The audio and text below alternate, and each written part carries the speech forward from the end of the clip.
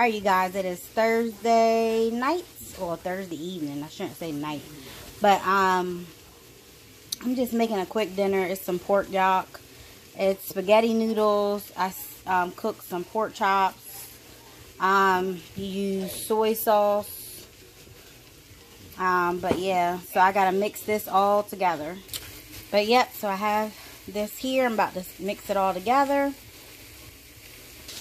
And then in this pan, I have peppers, onions, um, some diced up, it's cabbage. It's actually just um, the diced up coleslaw that you would use. Well, it's the cabbage you would use for coleslaw.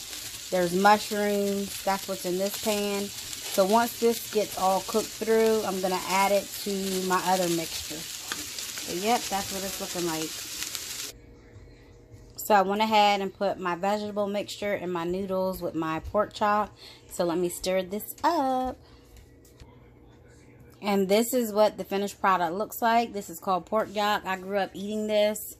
So like I said, it's just spaghetti noodles, um, cooked pork chop. I don't don't flour your pork chop. I just added a little bit of, um, I washed them, patted them dry, used soy sauce, kicking chicken, and garlic. But yep.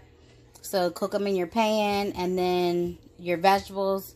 You can use just the coleslaw bag because it's nothing but cabbage. But go ahead and um, cook your coleslaw or your little cabbage mixture in the pan. Uh, peppers, onions, and mushrooms. And you will end up with this tasty meal here. But yeah, this is called pork yok. So hopefully you guys will try it if you haven't heard of it.